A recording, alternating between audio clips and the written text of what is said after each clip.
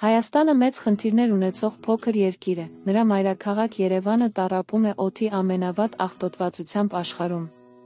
Հիմնական մեղավորը տրանսպորտն է, բենզինով եւ դիզելային վառելիքով աշխատող մեքենաներն ու ավտոբուսները վնասակար արտանետումների հիմնական աղբյուրն են, որոնք վնասում են շրջակա միջավայրը եւ մարդկանց առողջությունը։ Բայց կա լուծում։ Էլեկտրական մեքենաներն առաջարկում են ավելի մաքուր եւ կայուն միջոց տեղաշարժվելու համար։ Ուրեմն ինչու այսօր չփոխել ապագան, օգնենք Հայաստանին շնչել ավելի հեշտ եւ շարժվել դեպի պայծառ ապագա էլեկտրական մեքենաներով։